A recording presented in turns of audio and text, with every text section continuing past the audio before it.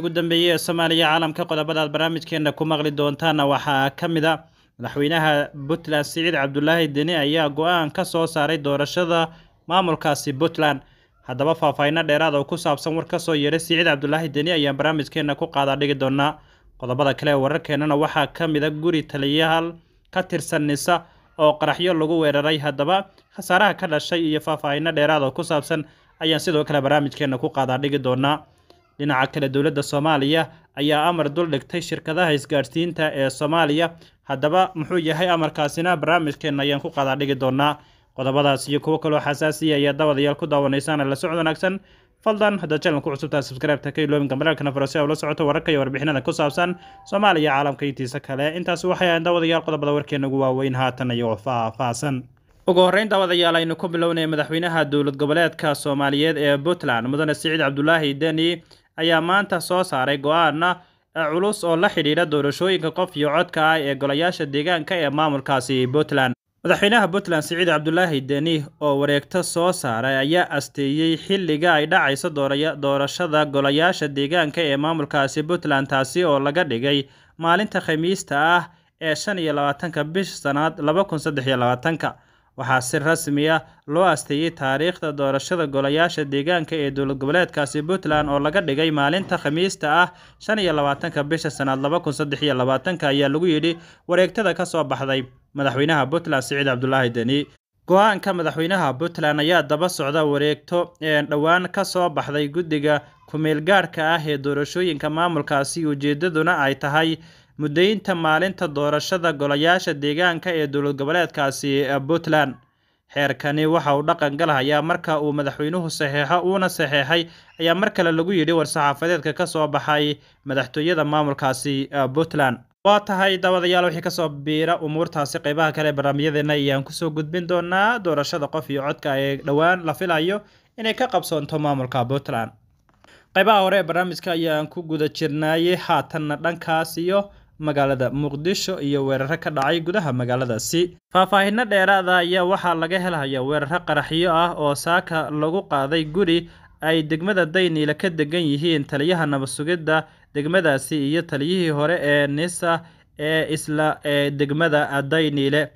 qaraxyadan oo ahaa miino islamarkaasna laba ahaa ayaa waxaa lagu weeraray dhismo ay si wada jir ah ay u deganaayeen labadan taliye kaasi oo ku yaalla xaafadda seben seben wararka ayaa waxay sheegayaan in taliyaha nabadsugidda ee degmada dayniile cabdiraxmaan cali waqooyi iyo taliyihii uga horreeyey ee xilkaasi cumar cabdi fiidow ay labaduba dhaawacyo ka soo gaadheen qaraxyada saaka aroortii hore lagu weeraray guriga ay ka deganaayeen magaalada muqdisho. Sidoo kale waxaa weerarkan ay waxyeello ka soo gaadhay qaar ka mid a askarta ilaalada u ahayd labadan taliye iyo xubno ka mid ahaa qoysaska sida ay sheegeen goobjagayaal ciidamo ka tirsan kuwa ammaanka ayaa goobta gaadhay kuwaasi oo baadhitaan kooban ka sameeyey degmada dayniile kadib qaraxaasi xooggan ee ka dhacay halkaasi. Ilaa iyo hadda ma jirto wax hadala oo ka soo baxay dhanka saraakiisha laamaha ammaanka ee dowladda soomaaliya oo ku aadan dhacdadaasi iyo sidoo kale howlgallada xigay ee ka dhacay halkaasi. Dhinaca kale kooxda argixisada al-shabaab ayaa sheegatay mas'uuliyadda weerarkaasi qaraxyada ahaa ee lagu qaaday guriga ay deganaayeen taliyaasha oo si weyn ee looga maqlahay dayniile oo ku taalla gudaha magaalada muqdisho weerarkan ayaa qayb ka noqonaya falalka amni darro ee haatan ka dhacaya magaalada muqdisho kuwaasi oo isugu jira qaraxyo iyo sidoo kale dilal qorshaysan. Si kastaba kooxda argixisada al-shabaab ayaa maalmihii u dambeysay kordhisay weerarada ay ku beegsan hayso fariisimaha ciidamada dowladda iyo saraakiisha ku sugan magaalada muqdisho ee caasimadda soomaaliya. Waxaana muuqata in dowladda soomaaliya ay fashil weyn ay dhex fadhido kadib markii magaalada muqdisho uu ammaankeedii faraha ka sii baxayo. Waxaa xusid mudan sidoo kale in saraakiishii sirdoonka ee soomaaliya ay weeraro lala beegsanhayo halka loo baahnaa in sirdoonka soomaaliya ay la socdaan dhaqdhaqaaqyada kooxaha argagixisada ee soomaaliya.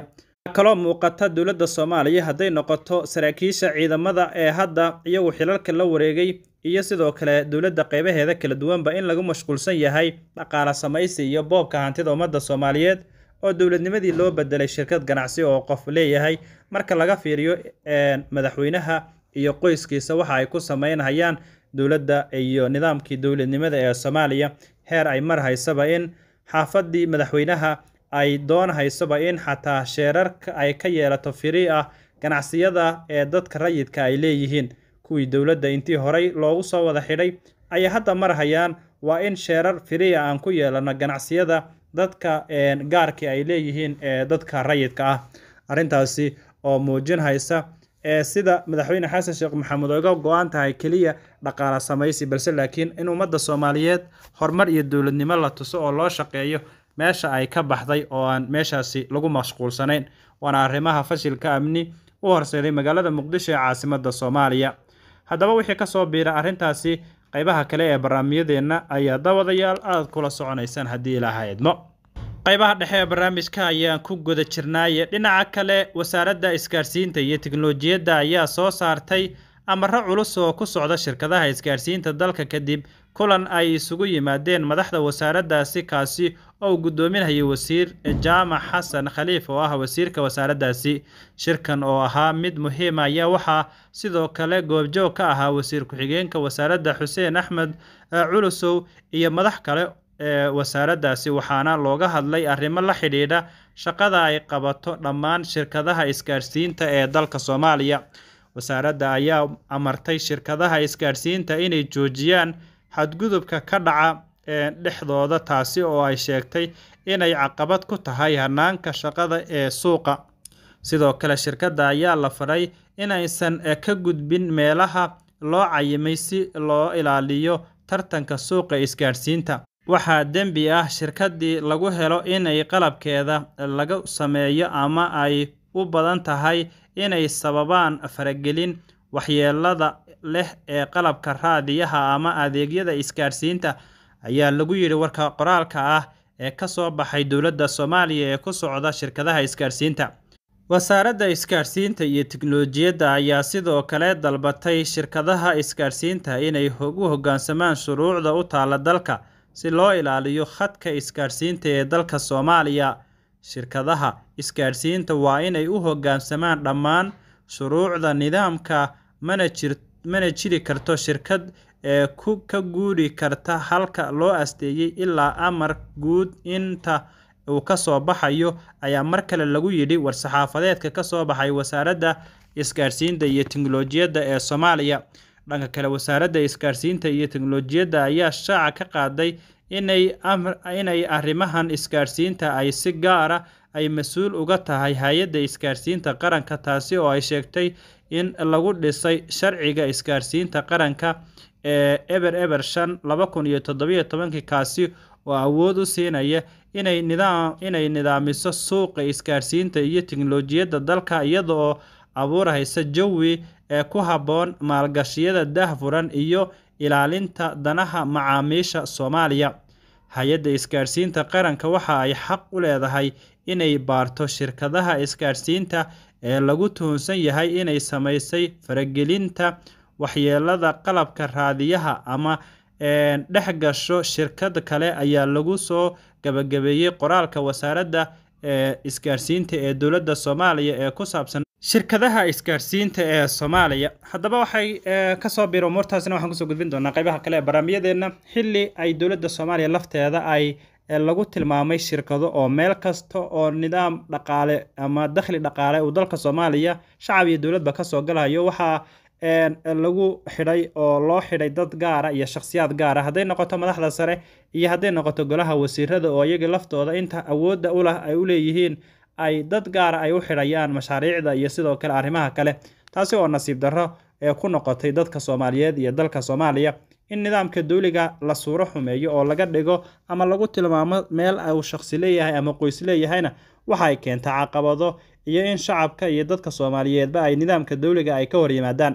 Haddaba nidaamka madaxweyne xasan sheekh maxamuud horey waxaa loogu bartay musuq iyo sidoo kale in loo bixiyo ayax gaajaysan balse laakiin laba kun iyo toddobiyo tobankii wixii ka horreeyey maanta oo la joogo laba kun iyo saddex iyo labaatan ayayba ka sii daran yihiin oo boobka hantida iyo sidoo kale dhaqaale urursiga iyo in la iloobay waxyaabihii loo doortay oo ahaa horumarinta dalka soomaaliya amniga oo la sugo iyo sidoo kale qiyamka iyo sharafka dadka soomaaliyeed oo la soo celiyo iska daaye. Waxaa lagu mashquulsan yahay sidii shirkada iyo dowlado kale oo shisheeye dhaqaale looga qaadan lahaa iyo laaluush dalka soomaaliya qiyamkii iyo sharafkii uu lahaana meesha uu ka sii baxayo. Dhowaan sharciyada la meelmariyey qaarkood waxay ku xadgudbayaan madax bannaanida iyo qarannimada iyo jiritaanka ummadda soomaaliyeed taasi oo dalka isutaga imaaraadka carabta ee lagu wareejiyey in ay noqoto soomaaliya qeyb ka mid a marka la fiiriyo shuruucda la meel mariyey oo golaha wasiirada ka soo gudbay inkastoon baarlamaanka weli la horkeenin haddaba wixii ka soo biir umuurahaasi oo dhan qeybaha kale ee barnaamijyadeena ayaad kula soconaysaan adigana daawada qeybta kommentiga fikirka noogu reeb intaa barnaamijka mid la mid aan ku kulmayno nabad